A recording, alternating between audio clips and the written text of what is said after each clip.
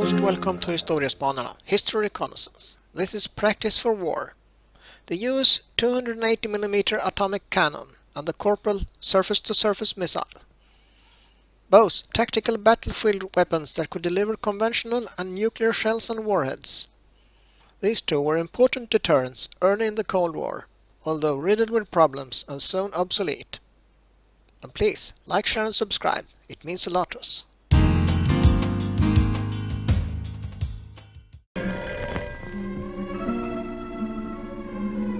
Following the briefing session, each participating battalion receives the alert message. From this moment, every man is expected to carry out his duties as if the test alert were an actual combat situation. Telephone communications begin a chain reaction, which carries throughout the battalions.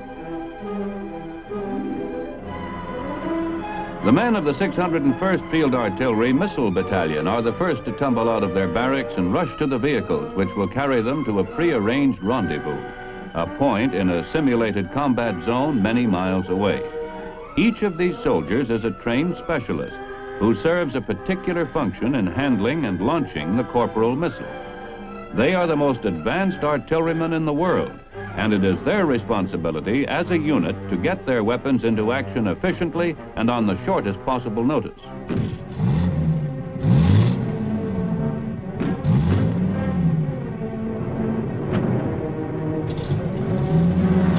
All battalion vehicles are gassed and oiled and kept in readiness for a real emergency, which is only simulated in this exercise.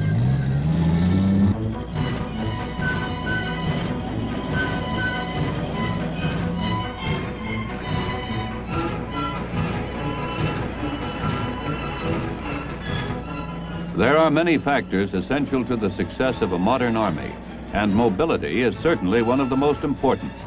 Gone are the days when weapons were restricted by the shortcomings of the equipment which moved them. An entire corporal missile battery can be transported by fast, maneuverable vehicles. Like the huge skeletal erectors which lift the missile hydraulically and stand it upright in firing position. The Corporal itself is hauled in its giant steel tube aboard a 40-foot trailer truck.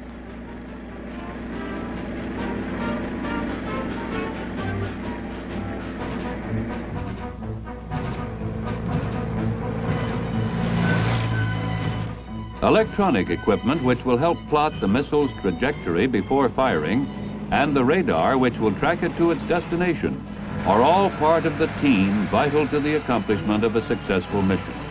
Even though these huge weapons are designed to be fired from many miles behind the actual battle lines, they must be mobile. From the open highway, elements of the 601st Missile Battalion move speedily through one of the small country villages along the route to the assigned rendezvous point a few miles from the Rhine River.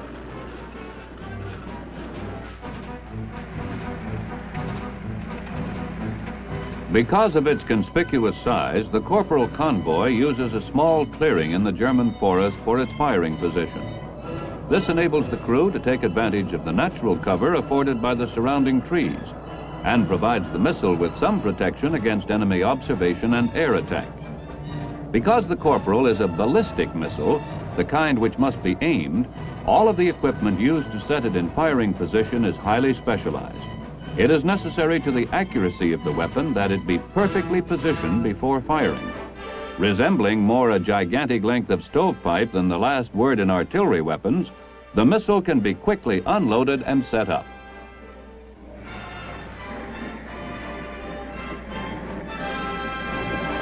Like the pieces of an enormous puzzle, the skeletal steel bed on which the corporal will stand is also unloaded and assembled by the missile man of the 42nd. The entire structure is simply designed for fast handling under combat conditions and can be assembled completely in a few minutes by an experienced crew such as this. Weather data is vital to the best performance of the corporal.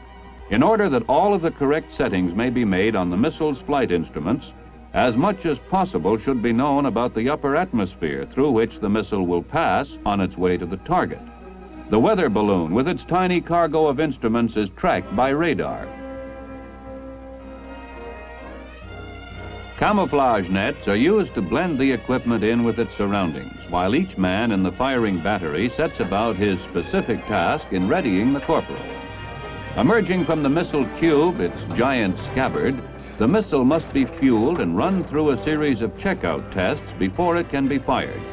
Although the corporal has never actually been fired in any European exercises, the crews participate regularly in maneuvers such as these to stay in a constant state of readiness.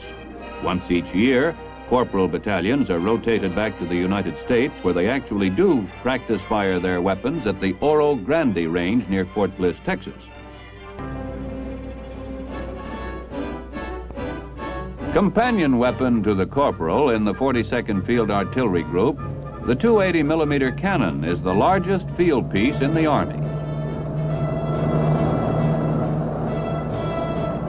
Considerably heavier than the missile, the 280 has also been designed for rapid movement behind the battle area. Capable of firing an atomic shell as well as conventional high explosive projectiles, the 280 can deliver a devastating firepower concentration more than 20 miles from its firing position. Because of its weight and length, it is steered separately from tandem cabs at the front and rear. Telephones link the drivers. Brakes and throttle on the 85-ton unit are controlled by the lead driver. There are a dozen cannon batteries in the 42nd Field Artillery Group, and each of them regularly takes part in field and firing exercises. These monster guns can be emplaced and put into action quicker than any other heavy artillery piece now in use. With precision and skill, the GI drivers handle their 84-foot responsibility as if it were no larger than a milk truck as they park on the banks of the Rhine. With the help of a French manned landing barge, the artillerymen are able to move their piece across one of the world's most formidable rivers.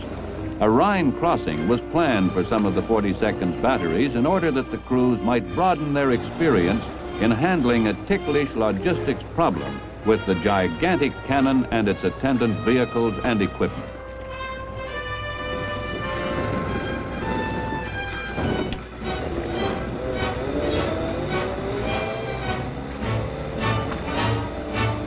Loading the monster gun aboard the barge presents a special problem to the men of the 42nd, which they manage to solve quickly and without mishap.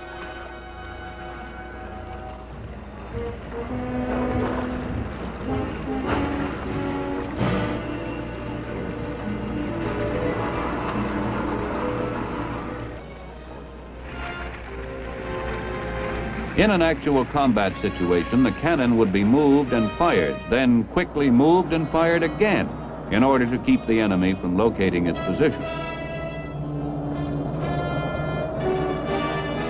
Navigating these highways is no trick for soldiers who are trained to drive the 280 rig over all kinds of roads under almost any conditions.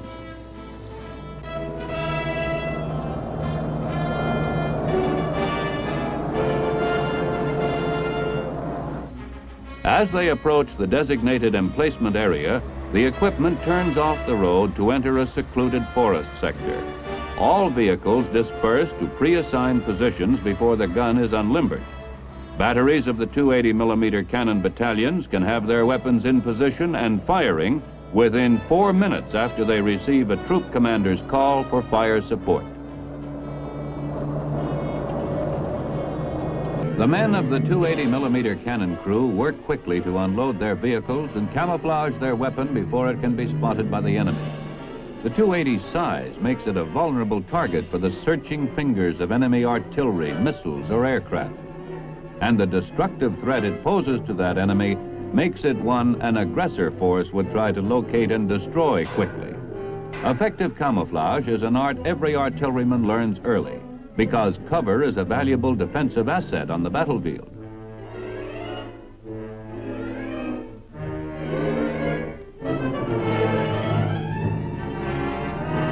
Even in this mock engagement, the eyes of the enemy are open and sharply watchful.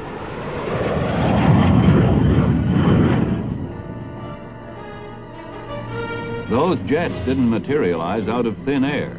Planes need a forward base, and that base is now one of the tactical targets of the 42nd. the aggressor's eyes must be destroyed before the gun position is spotted and the gun itself attacked. The best guess is that the enemy base lies somewhere north and east of the river. If the range of the 280 can't handle the problem, the Corporal battery certainly will. Deeper in the forest, another cannon from the 264th Field Artillery Battalion is already in firing position. The crew has not yet attempted to camouflage their weapon, but has taken advantage of what natural cover the trees provide. If a battery in combat had orders as this one has to proceed to its position and prepare to fire immediately, the seven-man gun crew might not have the time to camouflage their emplacement.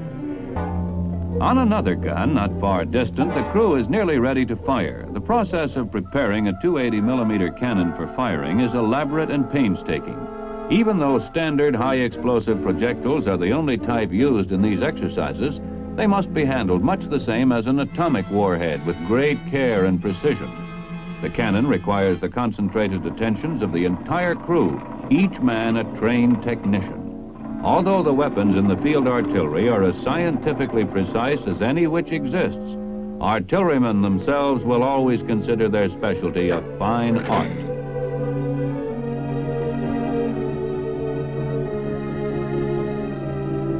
They will do the back work as well as the brain work demanded by such a monstrous weapon, and they take a special pride in the excellence of their performance. The competition between battalions is high, and that between firing batteries and individual gun crews even more spirited.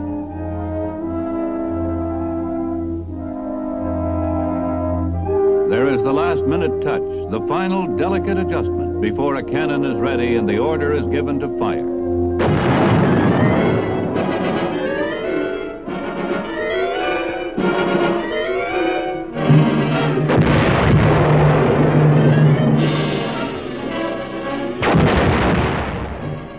280s are right on target.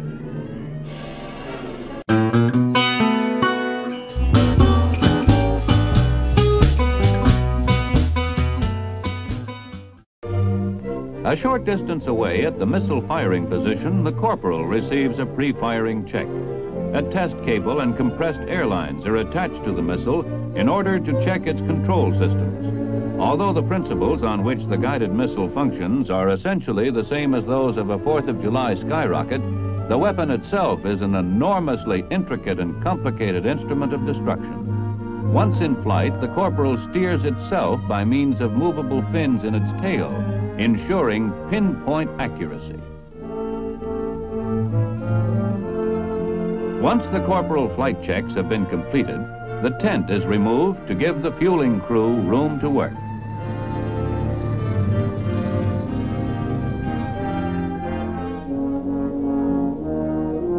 Fueling is a hazardous and complicated operation, and the artillerymen truly look as if they belong among the spacemen of the future in their strange protective clothing.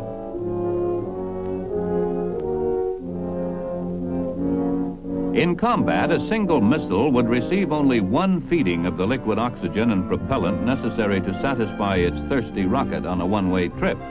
During dry runs such as these, however, the corporals can be filled many times over with the amount of fuel which would ordinarily be required to lift the five-ton missile from its launching bed.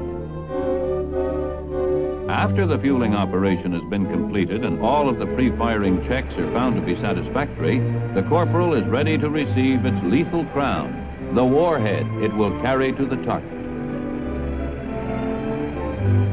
Groomed and checked for a simulated launching, the missile is ready to be picked up and put in its vertical firing position. The crew first works the erector into place so that the corporal can be grabbed and drawn upward gently by the great hydraulic claws of the vehicle.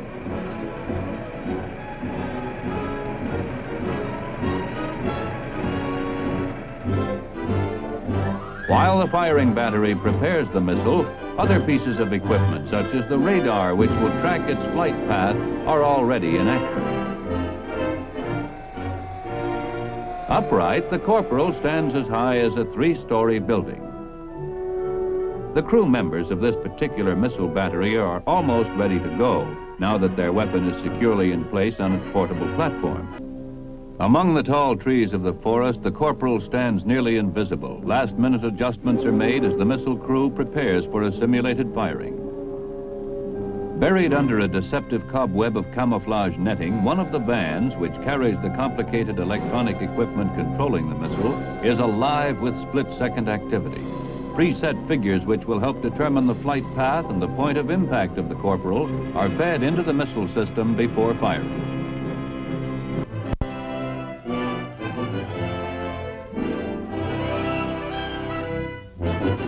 Once the men clear away from the weapon, the countdown goes out from the officer in charge, and the members of the missile crew tense expectantly as they await the firing order. The men know their jobs well.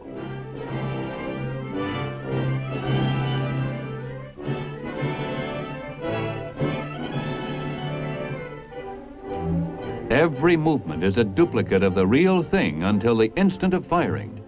For the actual firing of the corporal, the missile men must wait until their next live exercise at the Oro Grande range back home. There, at the press of a button, the corporal is fired.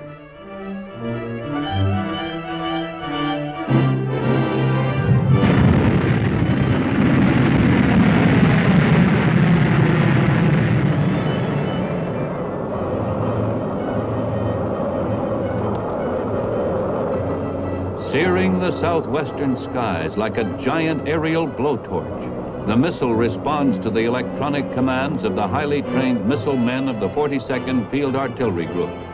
The corporal may travel 50 miles above the earth before it turns and plunges down upon its target, delivering a devastating punch from space, a concept of the future in your Army's artillery today. That's all, folks. Thanks for watching. Please like and subscribe.